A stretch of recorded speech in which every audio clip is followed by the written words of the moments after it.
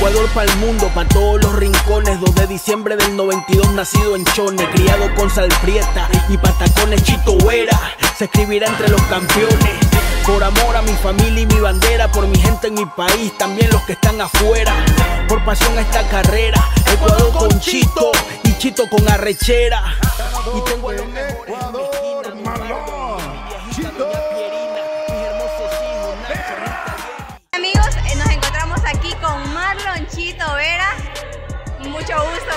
placer conocerte y estar acá contigo. Queremos que nos cuentes un poco más acerca de tus inicios. ¿Cómo empezó absolutamente todo? Pues siempre me gustó pelear, me gustaba entrenar y cuando empecé a entrenar pues simplemente decidí que era era lo que quería hacer, quería hacer eso, quería pelear y, y me dediqué al 100%. ¿En qué, ¿A qué edad te diste cuenta tú de que amabas pelear? Tal vez hubo un suceso que venga y te lleve a que tú digas, wow, eso es lo que yo quiero hacer. ¿Hubo algún hecho que te marcó? Pues creo que cuando gané mi primer pelea fue como que una sensación de querer volverlo a hacer, querer hacerlo repetidamente y, y pues aquí estoy ahora, pues me gustó bastante eso. ¿Cómo fue tu primer pelea? Una pelea en Quito contra un peleador de kickboxing y lo llevé al piso y le hice una llave de brazo. Y eso fue lo que te, te hizo ganador. No, no solo eso, pero la, ex- la experiencia, me gustó la experiencia y La adrenalina del momento. así es, y quería vivirlo más veces. ¿Y de dónde nace ese sobrenombre de El Chito? Realmente así me siento desde pequeño. O sea que desde pequeño y ahora tú lo, lo- ya lo utilizas como tu nombre. Como Claro. que todo el mundo es Marlon el Chito Vera, el Claro, Chito Vera, el no- no Chito me lo Vera. cambié, ya me ¿Y te eso. gusta que te digan así? Sí, cualquier, Marlon, chico, lo que sea. ¿Cuál fue, cuál ha sido eh, la pelea que más adrenalina tal vez te ha causado? Y que tú digas, esa pelea no la voy a olvidar porque me sucedió esto. Todos tienen su momento especial, todas son únicas y es una experiencia más añadida.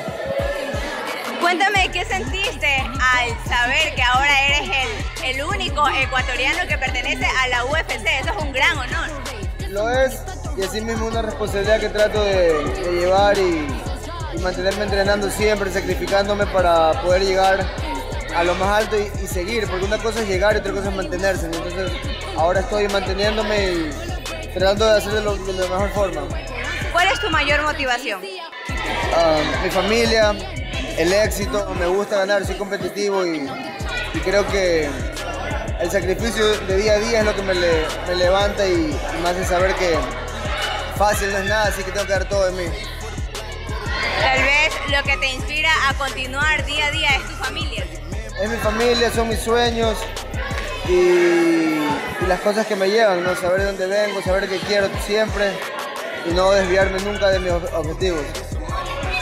¿Cuál es el principal sueño que tienes ahora? Tal vez me digas a corto plazo quiero lograr esto, a mediano esto y a largo quiero ser aquello. Pues corto plazo, ganar las peleas que se vengan y largo plazo ser campeón algún día. Pero para los ecuatorianos y para todo el mundo ya eres un campeón.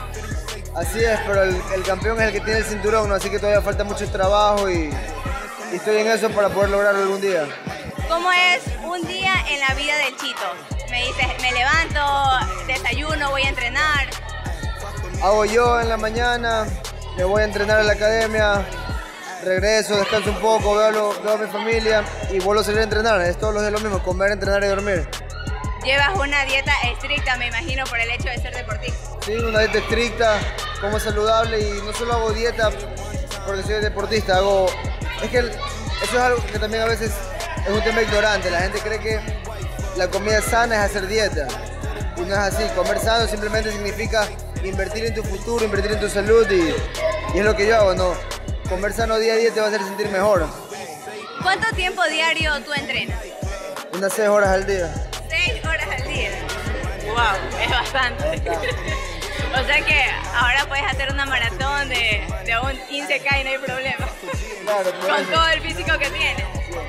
Ahora me, me gustaría que, que nos digas con quién te gustaría tal vez competir. Tú dices, yo quiero competir con tal persona de la UFC.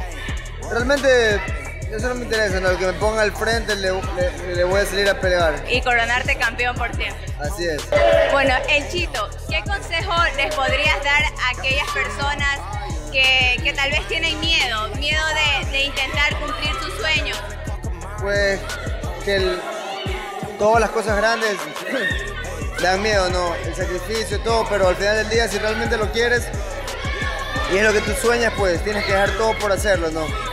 Todos tenemos miedos, todos tenemos dudas, pero tenemos que hacer lo que, lo que tenemos que hacer para lograr lo que, lo, que siempre hemos anhelado.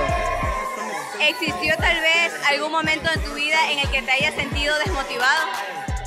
Hay, hay buenos momentos buenos y malos, pero yo siempre he estado enfocado en lo que quiero. Eh, coméntanos, coméntanos también de qué manera tú podrías decirle tal vez a, una persona que quiera ser deportista, porque ya sabemos que el deporte normalmente, eh, tú dices deporte y la gente piensa en fútbol, en fútbol. Y es muy poco común esto de, ser, de pelear y todo, es muy poco común. La gente es el fútbol, el fútbol y el fútbol. ¿Qué le dirías a aquellas personas que tal vez y quieran emprender esto? Pues que sigan, como lo dije, que sigan sus sueños, que se esfuercen por lo que quieren, que trabajen por ello y, y, todo se da si tú realmente lo haces de corazón. Ahora quiero que nos des un mensaje para la Universidad Politécnica Salesiana que te va a estar escuchando. Pues gracias a todos ustedes por la, por la entrevista, por el tiempo y les deseo lo mejor. Un saludo al profesor Tony, póngale 20 a sus alumnos y no les dé problemas. Fuck with me and get some money. Get some money. Ay, fuck with me and get some money. Get some money.